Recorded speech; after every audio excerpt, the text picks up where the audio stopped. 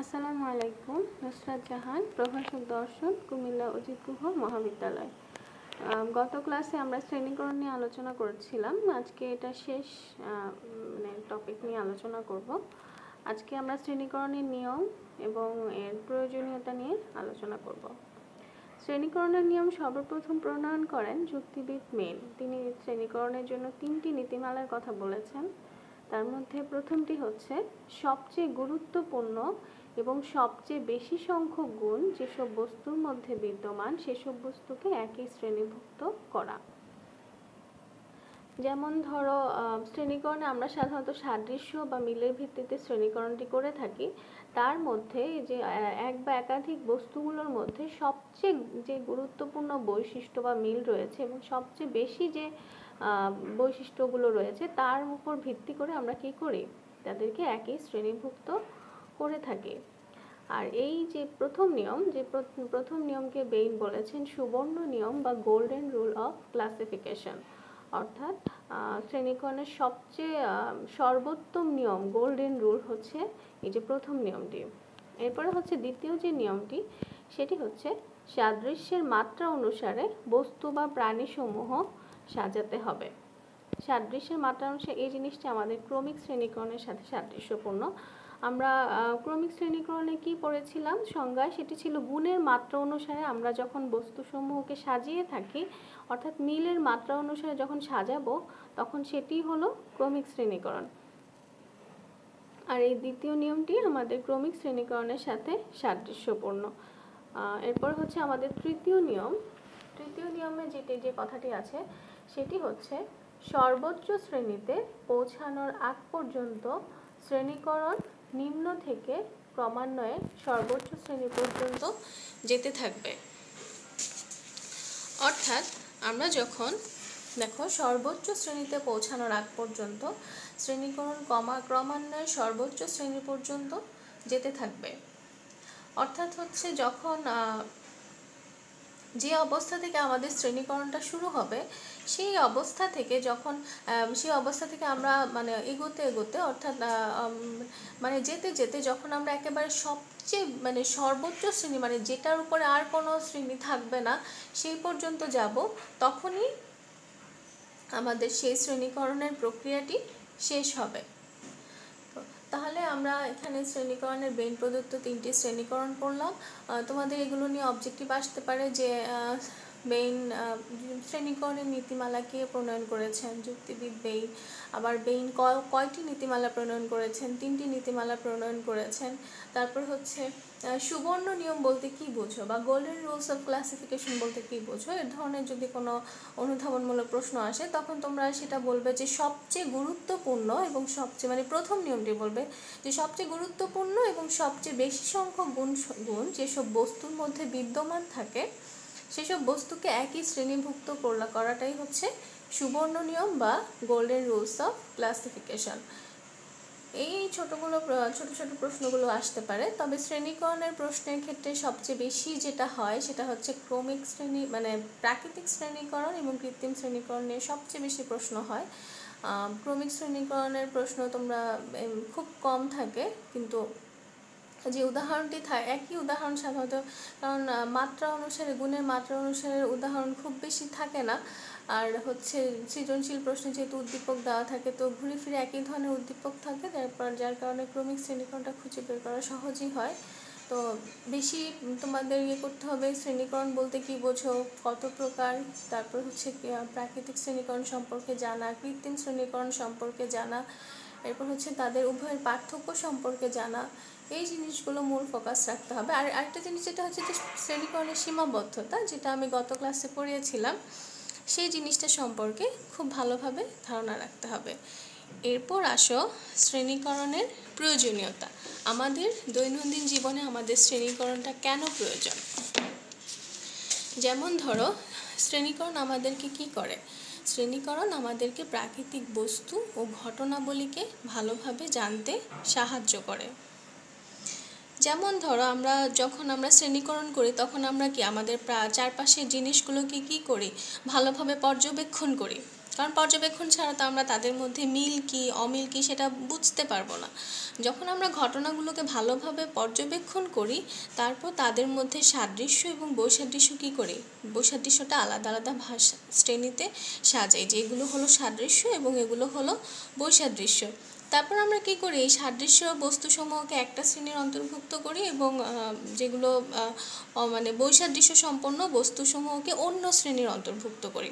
এই প্রক্রিয়ায় আমরা কি করি? বস্তুর সাথে বস্তুর, কোনো বস্তুর সাথে কোনো বস্তুর, কোনো ঘটনার সাথে কোনো ঘটনার, যেমন তোমার মানে পুলিশ যে ইনভেস্টিগেশন করে, কোনো ঘটনা মানে কোনো একটা মানে অপরাধ নিয়ে ইনভেস্টিগেশন করে, তখন কিন্তু তারা ঘটনার সাথে ঘটনা মিলিয়ে তারপর হচ্ছে একটা যে এই ঘটনার সাথে এটা মিল রয়েছে, তার মানে এই এই অপরাধটার সাথে হয়তো এটার কানেকশন রয়েছে। আবার এই ঘটনার সাথে এটির কোনো মিল নেই, তার মানে এই অপরাধের সাথে এটির কোনো ধরনের কোনো সম্পর্ক নেই।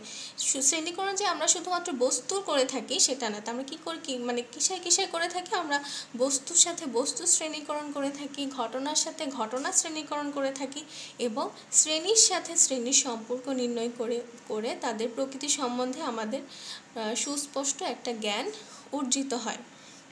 আমরা একটা প্রপার নলেজ পেয়ে থাকি।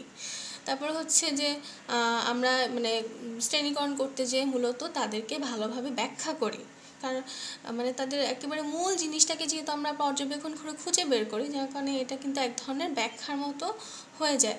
যার কারণে আমরা কি বলতে পারি? শ্রেণীকরণ আমাদের ব্যাখ্যার জন্য অনেক ক্ষেত্রে সহায়ক। তোমরা জানো, গত ক্লাসে আমাদের ষষ্ঠ অধ্যায়ের টপিক ছিল ব্যাখ্যা। সেখানে বৈজ্ঞানিক ব্যাখ্যা লৌকিক ব্যাখ্যা নিয়ে আলোচনা করেছিলাম। সেই ব্যাখ্যা চ্যাপ্টারের সাথে মানে সেই ব্যাখ্যার যে মূল বিষয়বস্তু, সেটার সাথে শ্রেণীকরণটা অনেকটা সহায়ক। মানে ব্যাখ্যার সাথে শ্রেণীকরণে অনেকটা মিল রয়েছে। মানে শ্রেণীকরণের মাধ্যমে আমরা আমাদের ব্যাখ্যাকে অনেক ভালোভাবে বুঝতে পারি। তো যার কারণে আমাদের শ্রেণীকরণটা কেন প্রয়োজন? কারণ শ্রেণীকরণের মাধ্যমে আমরা বস্তু, ঘটনার মধ্যে সাদৃশ্য এবং বৈসাদৃশ্য অন্বেষণ করে আমাদের প্রকৃতির বৈচিত্র্য, আমাদের প্রকৃতিতে যে বৈচিত্র্য রয়েছে এবং যে নিয়ম রয়েছে সেই সম্বন্ধে আমরা জ্ঞান লাভ করতে পারি। আশা করি বুঝতে পেরেছ? এরপর হচ্ছে শ্রেণীকরণ আমাদের স্মৃতির ক্ষেত্রে সহায়ক ভূমিকা পালন করে। শ্রেণীকরণে যে আগেও বলেছি, শ্রেণীকরণে আমরা কি করি? গুরুত্বপূর্ণ বিষয়ের মধ্যে সাদৃশ্য আছে, তাদেরকে আমরা একই শ্রেণি শ্রেণীতে অন্তর্ভুক্ত করি। এরপর হচ্ছে, একই রকম গুণ সম্পন্ন ভিন্ন ভিন্ন বস্তুকে শ্রেণির অন্তর্ভুক্ত করি। যার কারণে কি হয় শ্রেণীকরণ স্মৃতি সহায়ক কেন? কারণ আমাদের সব, পৃথিবীর সব বস্তুকে আলাদা আলাদাভাবে জানা মানে প্রত্যেকটা ঘটনাকে আলাদা আলাদাভাবে জানা আমাদের জন্য কিন্তু খুব কঠিন, আমরা কিন্তু মনে রাখতে পারব না। এই যে এত ঘটনা মনে রাখতে পারব না। ধরো আমাকে তোমাকে যদি বলা হয় যে প্রাণী, মেরুদণ্ডী প্রাণী এবং অমেরুদণ্ডী প্রাণী, প্রত্যেকটা মেরুদণ্ডী প্রাণীর নাম, তারপরে তাদের বৈশিষ্ট্য, আলাদা আলাদা বৈশিষ্ট্য, তারপরে অমেরুদণ্ডী প্রাণীর নাম, তাদের আলাদা আলাদা বৈশিষ্ট্য, এই যে ছোট ছোট করে যদি তুমি মনে রাখতে যাও তোমার পক্ষে কিন্তু সম্ভব হবে না। অনেক কঠিন হয়ে যাবে। কিন্তু যখন এই যে আলাদা খুব শ্রেণি করে দিল, এটি এই ধরনের প্রাণীগুলো মেরুদণ্ডী প্রাণী, এই ধরনের প্রাণীগুলো অমেরুদণ্ডী প্রাণী, তখন কিন্তু তাদের বৈশিষ্ট্যগুলো আলা মানে এই যে মনে রাখাটা কিন্তু অনেক সহজ হয়ে যায় যে এই বৈশিষ্ট্য সম্পন্ন, গুণ সম্পন্ন জিনিসগুলো এই প্রাণীর মধ্যে রয়েছে। কিন্তু তুমি যদি প্রত্যেকটা প্রাণীর আলাদা আলাদা বৈশিষ্ট্য মনে রাখতে যাও, তার মানে অনেক কঠিন। যার কারণে বলা হয়েছে কি, শ্রেণীকরণ আমাদের স্মৃতির ক্ষেত্রে অনেকটা সহায়ক। এরপর হচ্ছে এই এই জন্য বলা হচ্ছে কোনো শ্রেণির সদস্য হিসেবে শ্রেণীকরণ আমাদের স্মৃতি মানে খুব সহজেই মনে রাখতে সাহায্য করে। তো তৃতীয় যে প্রয়োজনীয়তাটা আমাদের শ্রেণীকরণে, সেটি হচ্ছে আরোহ অনুমানে শ্রেণীকরণের ভূমিকা গুরুত্বপূর্ণ। তোমরা যুক্তিবিদ্যার স্টুডেন্ট তোমরা জানো, আরোহ অনুমান মানে হচ্ছে বিশেষ বিশেষ ইয়ে থেকে যখন আমরা সার্বিক দৃষ্টিভঙ্গিতে যাই, সেটি হচ্ছে আরোহ অনুমান। মানে ছোট ছোট জিনিস থেকে যখন আমরা বড় জিনিস চিন্তা করি, সেটি হচ্ছে আরোহ অনুমান। যেমন হচ্ছে ধরো, রহিম হয় মরণশীল, করিম হয় মরণশীল, জামাল হয় মরণশীল, সব কিন্তু বিশেষ মানে ছোট, একজন একজন করে। রহিমকে দেখলাম সে মারা গেছে, করিমকে দেখলাম সে মারা গেছে, জসিমকে দেখলাম সে মারা গেছে। অতএব আমরা কি ডিসিশন নিই? সকল মানুষ হয় মরণশীল। এই যে একটা ছোট ছোট, বিশেষ বিশেষ ঘটনা থেকে আমি একটা বড় একটা মানে সার্বিক ঘটনা, যে সার্বিক মানে কি? সবাইকে নিয়ে আমি চিন্তা করলাম যে, সবাইকে নিয়ে আমি অনুমান করলাম যে পৃথিবীর সকল মানুষ হয়ে মরণশীল, সেটা হচ্ছে সার্বিক। এই বিশেষ থেকে সার্বিকে যাওয়ার যে প্রক্রিয়াটা, সেটি হচ্ছে আরোহ অনুমান। তো আরোহ অনুমানে, আরোহ অনুমানের জন্য আমাদের শ্রেণীকরণটা শ্রেণীকরণের জ্ঞানটা অনেকটা প্রয়োজনীয়। কারণ আরোহ অনুমানকে মানে মানে সফল করতে হলে, অর্থাৎ আরোহ অনুমানকে সহজ করতে হলে আমাদের প্রাকৃতিক বস্তুসমূহ এবং ঘটনাগুলিকে শ্রেণীকরণ করে নেওয়াটা অনেক প্রয়োজন।